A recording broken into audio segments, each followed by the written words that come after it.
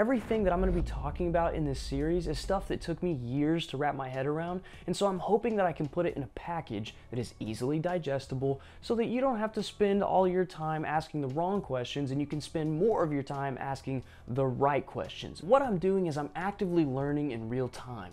And so I wanted to take the information that I've gotten up to this point about HF digital modes and just start to disseminate it in the most simple way possible. My name is Jake. Welcome to Gridbase. All things off-grid computing and comms and survivability and sustainment and you know, just the thing, the thing you got to have these days to make it. Crazy, right?